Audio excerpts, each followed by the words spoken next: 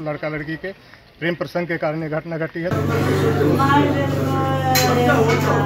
तो इसमें छह लोगों को गोली मारी गई है जिसमें दो की घटना स्थल पर मृत्यु होने की बात आ रही है।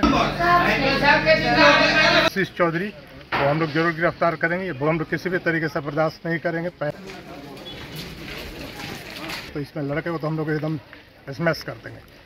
छठ पूजा के मौके पर सुबह वाले अर्ध के दिन सोमवार को घाट से लौट रहे एक परिवार पर सनकी युवक ने लखीसराय में ताबड़तोड़ गोली चला दी थी। इसमें एक ही परिवार के छह लोगों को गोली लगी थी। दो भाइयों की मौत हो गई, जबकि घर के चार सदस्य घायल हैं। दरअसल इस मामले में पुलिस ने बड़ा खुलासा किया है। घटना में कुछ ही घंटों बाद पुलिस ने जाँच और पूछताछ में कई जानकारी हाथ लग गई। दरअसल सोमवार को पुलिस ने इस मामले में बयान जारी किया और इससे घटना के पीछे की जुड़ी वजह भी सामने आई है। पुलिस का कहना है कि लखीसराय के कबैया थाना क्षेत्र में हुई घटना पूरी तरह प्रेम प्रसंग का मामला है। फायरिंग करने वाले आरोपित युवक आशीष चौधरी ने पाँच साल पहले ही दुर्गा कुमारी से शादी की थी। आशीष चौधरी को इस दौरान पता चला कि उसकी पत्नी का किसी अन्य व्यक्ति से संबंध है, जिसके चलते पति पत्नी में विवाद भी हुआ था। इसके चलते बात यहाँ तक पहुँच गई। दरअसल विवादों के बाद दुर्गा कुमारी ने आशीष के साथ रहने से मना कर दिया था। हालाँकि आशीष चौधरी उसे अपने साथ रखना चाहता था। दुर्गा के माता पिता से भी दुर्गा को अपने साथ रखने के संबंध में आशीष की बातचीत हुई थी। हालाँकि लड़की के माता पिता भी नहीं माने। इसी आक्रोश में आशीष चौधरी ने सोमवार को इस घटना को अंजाम दिया। हालाँकि पुलिस ने कहा है कि जातीय तनाव जैसी अब तक कोई बात नहीं है। आशीष चौधरी द्वारा लिखित दस पन्नों का एक नोट बरामद हुआ है। इसमें इन सारी बातों का ज़िक्र किया गया है। आशीष चौधरी ने चार सहयोगियों को हिरासत में लेकर पूछताछ की जा रही है। घटना में प्रयुक्त हथियार को भी बरामद किया गया।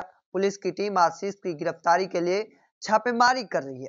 लखीसराय में सोमवार की सुबह छह लोगों पर एक युवक ने ताबड़तोड़ फायरिंग कर दी थी। इस घटना में दो भाइयों की मौत हो गई।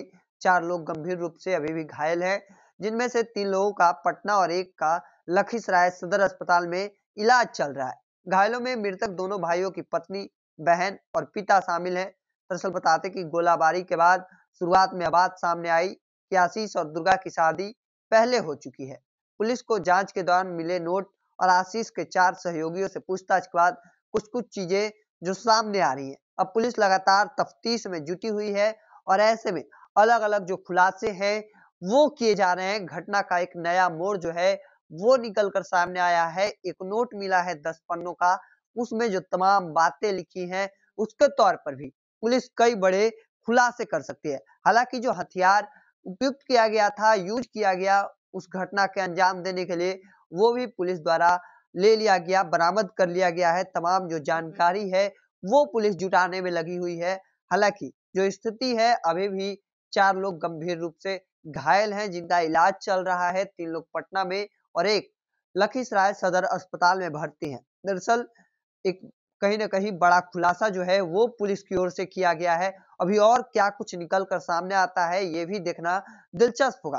हालाँकि इस चीज़ को लेकर आपका क्या मानना है कमेंट सेक्शन में रखिएगा। ऐसे ही तमाम खबरों के लिए द इंडिया टॉप को सब्सक्राइब कर लीजिए। फेसबुक पर देख रहे हैं तो लाइक और शेयर कर दीजिए। धन्यवाद।